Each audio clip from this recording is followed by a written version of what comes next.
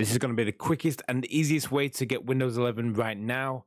It is slowly releasing out to everyone whose PC is eligible for the upgrade. You can check out my previous video on how to make sure your PC meets all the requirements. But if your PC is, then you can go ahead and download, install Windows 11 right now. It might say you have to wait, but you don't have to. You can get it right now. I'll leave a link in the description. But if you go over to this website, Microsoft.com, download Windows 11 right now. Click download now. I actually don't need to do that because I already have it downloaded and installed.